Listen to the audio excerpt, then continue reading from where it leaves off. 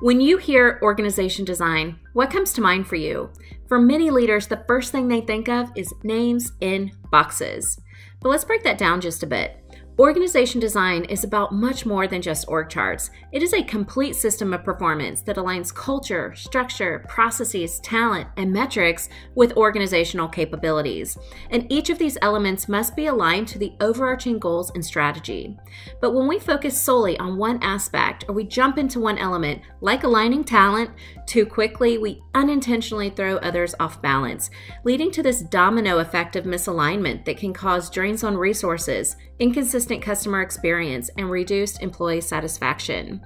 So, if you want to realize the full potential of your people, let's talk.